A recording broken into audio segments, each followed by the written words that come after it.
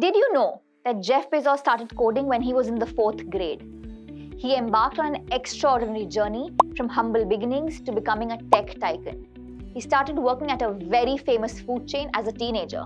Can you guess which one? Here's a hint.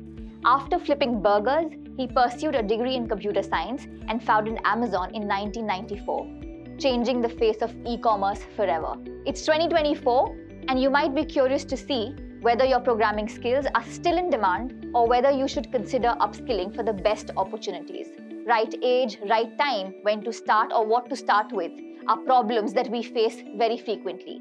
So here's a video which will tell you the top 7 programming languages for 2024. Hundreds of coding languages have emerged over the years. No matter what you're hoping to create, there is a programming language out there for it. So which are standing the test of time and which are worth boning up on?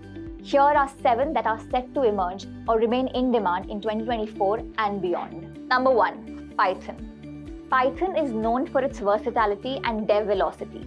It has steadily climbed the programming language charts over the past few years. It's considered a very useful language for working with AI, and a few reports suggest that it was the third most used language of 2023, behind JavaScript and HTML CSS. Its power lies in its ability to automate tasks and improve workflows. Skilled software engineers with strong Python skills are in demand right now and will continue to be. Python developers are natural problem solvers, always looking for ways to optimize and improve processes. Number two, Java. Since its creation in 1995, Java has been a solid and steady performer. A survey of 14 million developer jobs earlier this year put Java as the third most in demand programming language. Widely used in everything from web development to cloud computing, it's commonly seen as a language that offers excellent job security. Number three, PHP.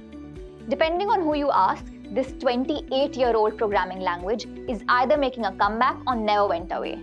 Mainly used for web development, PHP skills continue to be sought after on the job market. Over 77% of websites still rely on it, and one in every 10 dev jobs calls for it. You can head to our website to check DSA with Python and DSA with Java. Check the link in the description. Number four, C++.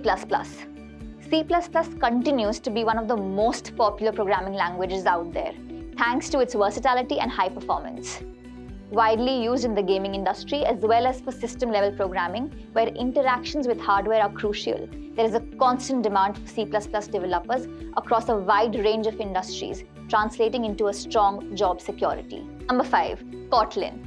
This is popular for both Android and cross platform app development. Kotlin is supported by Google, which announced it as an official language for Android development in 2017. Since then, it has steadily grown in popularity. Number six, C Sharp.